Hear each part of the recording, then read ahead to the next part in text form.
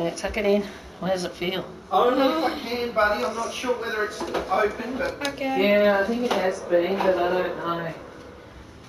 I'm just doing a really cool mesmerizing oh, video. oh, don't worry.